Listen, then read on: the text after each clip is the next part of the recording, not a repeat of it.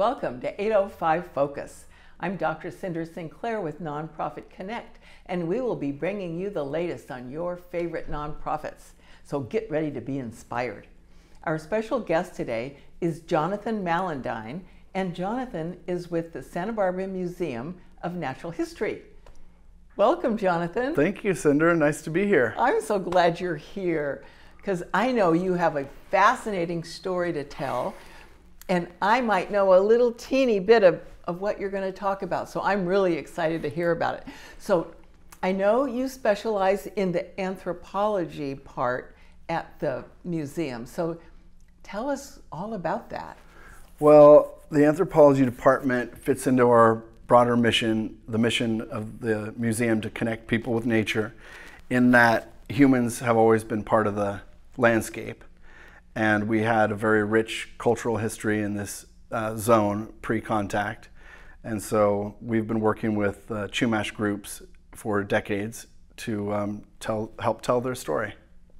So you've been working with them for a long, long, long time. Yeah, all the um, local groups, the Barbareño, the Ventureño, the um, Northern Chumash up in San Luis. The Chumash range from about Malibu to San Luis. From Malibu to San Luis. And are there various, I don't know, is the right word, tribes or groups or? Yeah, they're all part of a larger group, but we have the San Ynez um, Mission Indians over the um, mountain, mm-hmm. and then the Barbareño were the group that lived in this particular region, uh, hmm. centered around the Goleta Slough. Okay. Yeah. And so I heard you use a word repatriate repatriation. tell us tell us about that. Yeah, so I'm the NAGPRA officer, and that stands for the Native American Graves Protection and Repatriation Act. It's a federal Native law. Native American Graves, Graves and Repatriation Act. Yes. Whoa. And um, that's a federal law that was established in 1990, and it basically gives Indian tribes the same protections over their graves that our society has enjoyed forever, and that every culture around the world has protections for the, the sacred uh, nature of their ancestors and their graves. And for many years, those protections weren't applied to uh, the Indian tribes. Really? I don't think I even knew that. Yeah. Um, so the federal law and now state law um, requires institutions like ours, universities and museums, um, to work with the tribes to identify what objects in our collection are eligible for repatriation, which means return. Mm-hmm. And mostly we're talking about ancestors, you know, some call them human remains, but we are more respectful and like to call them ancestors, and the belongings that were buried with them. And so we've been uh, repatriating for the last couple of years vast amounts of um, ancestors and their belongings to the Chumash. Gosh. Now, how long have you been doing the, the repatriation for? why, why, do I have a hard time with that word? um, I started there two years ago. And um, just prior to my arrival in 2022, we had repatriated about 99% of all the ancestors that were previously housed at our museum to the Santa Ynez band of Chumash Indians. Wow, yeah. that's a lot. So 99%. So I don't know, do you have a way of estimating like how many things that was or how many items? Yeah, so we repatriated about probably close to 2,000 ancestors and um, tens of thousands of their uh, belongings. In the past, archaeologists around here have targeted uh, cemeteries, and not just around here, around the country. Um, they excavated cemeteries, and um, a lot of you know sensibilities have changed these days, and so uh, it's not done so much. But prior to a couple of years ago, well, we, we received our first repatriation request in 2021. But prior to that, the tribes knew that they were housed at our uh, museum. They were very carefully protected and kept safe and sound.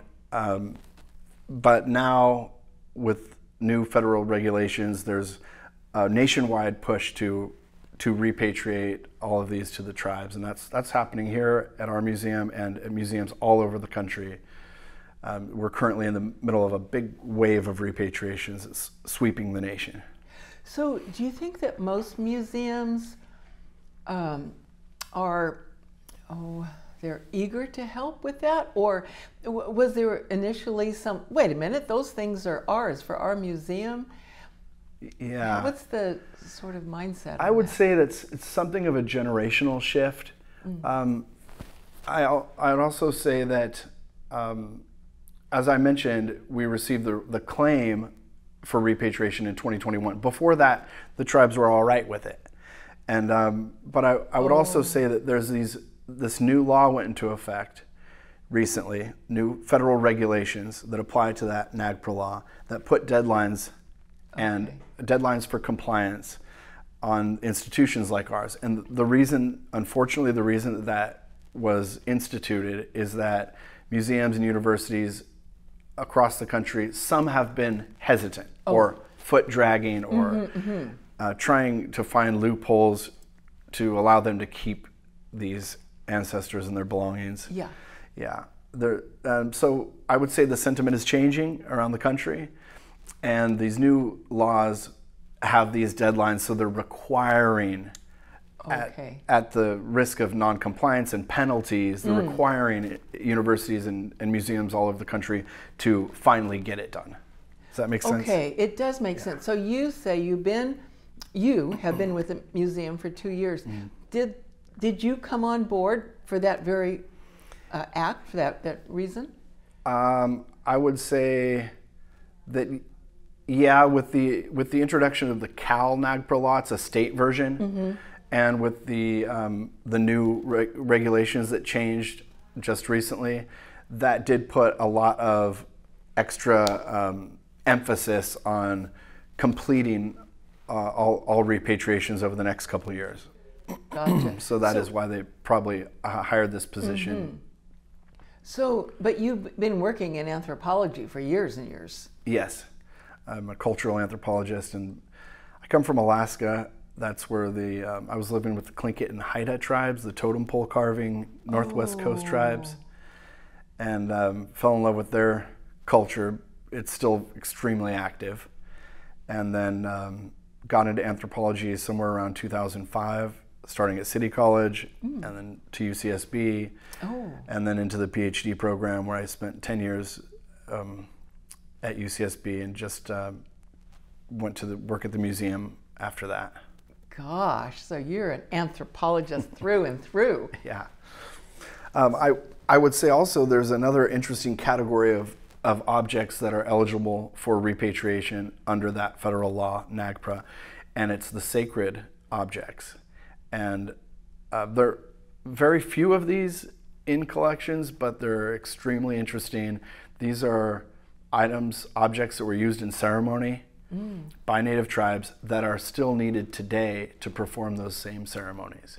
Wow. And so I was mentioning, uh, talking to you before the show about a trip I just took to mm-hmm. uh, repatriate five or six sacred objects to Southwest tribes. We also brought some ancestors for reburial up in Utah, and it was uh, beautiful to have that finally completed and the ancestors at rest back where they were uh, originally from in Utah mm-hmm. after all these years. Gosh, I bet that's so important to the tribes. Yeah. Yeah, especially ancestors, uh, it's hugely important to the tribes. They, they want to see them at rest, they mm-hmm. want to see them um, back where they belong and with their people. Yeah. So, up until this law was passed, would, would you say that most of the tribe members felt like, oh, that's good. Our stuff that we value so much is in the Natural History Museum, and we know they're taking good care of it, so we're not going to worry about it. Yeah. Is that how they saw it? Yeah, and there's a lot of good relationships that exist between museums and tribes, and it is, as you say, we can provide a place where they're protected, mm. secure, free from pests, uh, and um, temperature control, environmental control. And the tribes generally are interested in that because they want access to the, that cultural heritage. Yeah. Right? They could at any time um, come visit those objects, learn about them, have classes, maybe uh, reinvigorate uh, how to make things uh, that their ancestors made. Yeah. So there's a lot of tribes that still to this day would like that to continue. And that's up to them. So we could repatriate those objects in that we transfer the ownership to them. And they could still request that we curate them. Oh, okay. I was going to ask Yeah. you if they ever say, "No, no, we don't. We want you to keep." yeah, yeah, sure. That happens a lot, and we and we would love to um, continue to protect that cultural heritage on behalf of the local tribes. And we we have a very live, collaborative relationship with with the local Chumash groups. There's basket weaving classes every Yeah. month. There's annual Chumash culture events. Um, we meet with them a lot, and in the future, all of our exhibits about Chumash culture will be created in collaboration with the tribes themselves. What a wonderful collaboration that is. Yeah, it's it's only natural that uh, to me that in the future, all museum exhibits that are talking about Native Americans should be consulting and collaborating with those tribes themselves to let them help tell their story. Uh, Yeah. you know, we should be helping them tell their stories. In other words, Yeah. So, do you do any, I don't know, like education? Uh, Like, let's just say you're giving some some precious things back to the tribe, and um, you're afraid, or they're afraid that, gosh, what if we don't take care of it right? I don't want it to disintegrate or something like that. Do you do any education about here's how you take care of it? It's usually the opposite. It's Oh. usually the tribes that are sharing their knowledge about those objects. They they almost universally know a lot more about their own culture than we do. Yeah. and um, I rarely run into those situations. In fact, these on this last repatriation trip, we returned a sacred drum. It's a ceramic kiva drum from the Pueblo of Zuni that was, it could be as old as 1850. That's used in their uh, medicine society ceremonies, and it was intact. And we just drove it out there a couple weeks ago, and they are going to put it to use in their current ceremonies. And so they're far from being afraid of, oh, we're going to mess this up. No, they're very, very happy to have it back. Another example is um, we also repatriated a medicine bundle from the Navajo tribe, which- well, to the Navajo Nation. So it's um, a collection of the tools and implements that a shaman would use for healing and ceremony. And this collection of shamanic tools is also very old. The Navajo Nation is going to put them back to use in their community. They'll, I'm sure they'll have some ceremony to cleanse it of whatever it picked Yeah, up yeah. in the meantime, Yeah. but um, they're going to hand those out to their current um, religious leaders and they'll be back in action. Wow. The same thing is happening with the Hopi. We repatriated a Kachina mask. These are objects that fall under Nagpra in that they're the, they're the rare sacred and ceremonial ones. Um, also, there's a category called cultural patrimony. And objects like that of cultural patrimony, they can't be owned by an individual. They're owned by the tribe uh-huh. or by a clan or by the mm-hmm. whole Indian community. And so no one person in the tribe has the right to sell it or oh. the right to alienate it from the oh, group. okay. Does that make sense? Yeah, yeah, yeah, So these are very rare objects, but a Kachina mask is one of them. And so we happen to have two of them in our collections. We returned one to the Pueblo of Jemez and one to the Hopi tribe of Arizona. And uh, the representative, the tribal historic preservation officer at Hopi, told me they don't actually have that big of a space to hold these objects that are being repatriated. Okay. Um, so he's going to put that back into the community as soon as possible. In other words, he's going to give that mask to someone in their community who will take care of it, refurbish it, use it Oh. in current ceremony uh, live. So I, I always, I think that's wonderful when Yeah, yeah. an object that's been hidden in a, a cabinet for decades 50 Yeah. 70 years um, has a new life back where it came from So you're like a hero coming in there.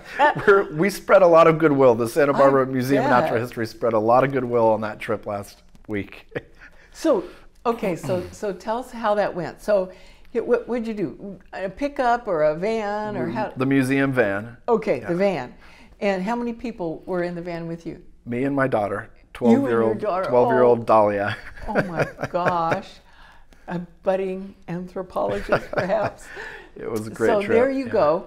And was the van like full of all kinds of stuff, Yep. carefully packed? Yeah, carefully packed crates, just as you'd imagine an anthropology expedition might look like. And um, we drove 2,400 miles all the way through five or six states. Um, it was wonderful. As I said, we repatriated um, some ancestors that were reburied in Utah uh, within Bears Ears National Monument. And um, we'd just been working for like two years with a lot of the ancestral Puebloan tribes that are now in New Mexico and, and Arizona and the Bureau of Land Management in Utah to establish a burial plot for ancestors like these that were removed from Utah. And so the representatives from four tribes met us there and we um, made it happen. It was beautiful So they knew you were coming. we've been working together for two years to arrange, make the, all these arrangements. Yeah. So, all right. So, uh, were there just these four people there, or to greet you, or was there a whole bunch of people? Or We all met up in Utah. There was five representatives from the Bureau of Land Management, which administers the national monument. There were four elders of Acoma from New Mexico that were going to actually do the reburial ceremony, and then representatives from Zuni, um, from the Navajo Nation, were there to provide support, emotional support, uh, to honor the, the reburial process. And Hopi, so there's Hopi, um, the Navajo Nation, and um, Zuni and Acoma. so, was there a big facility that you everybody hauled all these things inside, or was it outside, or how did they? It's a private, um, secret burial location because the most important thing is when, when we finally do all this work and get these ancestors returned and they're finally reburied, the tribes are most interested in the fact that these ancestors not be disturbed again. Mm-hmm. Wow, yeah. They try to pick uh, burial locations that are off the beaten path, that, that won't be subject to development in the future, right? Yeah. Yeah, a lot of these ancestors came from development uh, projects, you know, Yeah. it happens around here. Yeah, I, I, maybe your audience uh, knows or doesn't know, but there were Chumash villages all over the place in our region. And mm. so people find sensitive artifacts and even remains of ancestors oh. through erosion, you know, coming out of the beach, for example, mm-hmm. or the creek beds. They also, anytime someone starts digging around here, whether it's to build a new development or oh, maybe your garden or a pool or something like that, you're frequently finding artifacts like this that may be uh, from a cemetery. So, what should they do? Give you a call? A lot of people do, um, and we're working out ways to connect people who find such things with the proper uh, tribe, and so they can directly transfer those objects. Oh, instead of going through you. Right, and sometimes the, the tribes will ask us to hold on to them for a while until a burial is, uh, you know, Oh, ready, Gotcha. And we're happy to do that too. Yeah, as often as I can say, as we can say yes uh, to tribal requests, we want to do it. Jonathan, this is fascinating work. I'm so, no wonder you're you're so passionate about it. Gosh, I really appreciate Yeah, I'm you. lucky. It's a very rewarding job, and I'm lucky to be an ally, and I'm lucky that our community is supporting these repatriations, and that our Yes. our board is supporting it. Our president is leading that push. Yeah. And so there's a lot of a lot of good feelings behind um, doing the right thing after you know a, a long time of um, yeah maybe inadvertently doing the wrong thing. Maybe. well, gosh, I'd say our community and the museum are lucky to have you here. Thank you. Thank you. Yes, well, thank you for sharing your wonderful story with us. It's we appreciate all your good work. My pleasure. Nice to meet you. Nice to meet you. And thanks for joining us on 805 Focus, and we'll see you next time.